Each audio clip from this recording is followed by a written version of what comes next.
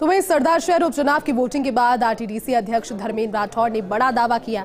कहा कि कांग्रेस पार्टी के प्रत्याशी अनिल शर्मा तीस हज़ार से अधिक मतों से विजयी होंगे। दरअसल मतदान के बाद रतनगढ़ में प्रेस वार्ता की। राठौड़ ने इस दौरान कहा कि गुड गवर्नेंस के दम पर चुनाव भारी मतों से जीतेंगे। फ्लैगशिप योजनाएँ चलाई गई। उसका लाभ प्रदेश की जनता को मिल रहा है, जिससे हर वर्ग खुश है। साथ ही धर्मेंद्र राठौड़ ने बीजेपी पर जमकर निशाना साधा। कहा कि बीजेपी के तीन तीन नेता मुख्यमंत्री के चेहरे बनकर घूम रहे हैं। उनके रहते हुए बड़े अंतर से ये चुनाव भारतीय जनता पार्टी हार रही है। इससे आप अंदाज़ा लगा सकते हैं कि बीजेपी के आगामी विधानसभा चुनावों में क्या हालत होने वाली है।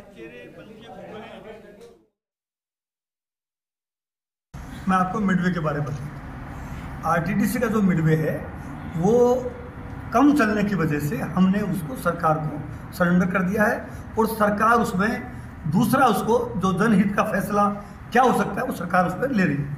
रही बात आपकी रतनगढ़ की जो समस्या है आपने चिकित्सा की बताई या कोई और समस्या बताई, ऐसे हर राजस्थान के किसी न किसी रूप में हर सरकारों के टाइम में कोई कमियाँ रह सकती हैं। उन कमियों को आने वाले समय में हम दुरुस्त करेंगे। लेकिन अगर आप तुलना करेंगे बीजेपी के राज से और पाँच साल जो बीजेपी का राज रहा राजस्थान में तो कोई कंपैरिजन नहीं है।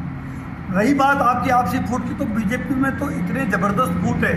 तो मैंने कहा ना आपको कि चूरू ज़िले के दो नेता राजेंद्र जी राठौर, सतीश पुनिया, उनके रहते हुए चुनाव अगर वो हज़ारों में, मेरा ये दावा है, तीस हज़ार से ऊपर से ये सीट कांग्रेस की झोली में आएगी। और जितने उपचुनाव हुए हैं, जितने, उन्नीस सौ बावन में पहला चुनाव हुआ, बावन से लेकर 2022 है, जब जब सरकारें रही है, सत्ता विरोधी उपचुनावों में उनका लहर रही है।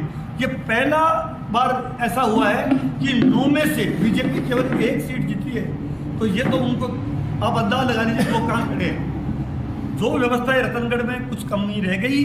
वो आने वाले समय में उसको दुरुस्त करेंगे, ठीक करेंगे। क्योंकि बजट आने वाला है। अभी मुख्यमंत्री जी एक बजट और पेश करेंगे। और जैसा आप आए दिन सुन रहे हैं उनके मुँह से भी कि इस बार युवाओं पर पूरा फोकस किया जाएगा। जितनी भर्तियाँ हमारे चार साल के राज में निकली है, उतनी भर्तियाँ बीजेपी के राज में नहीं निकली है।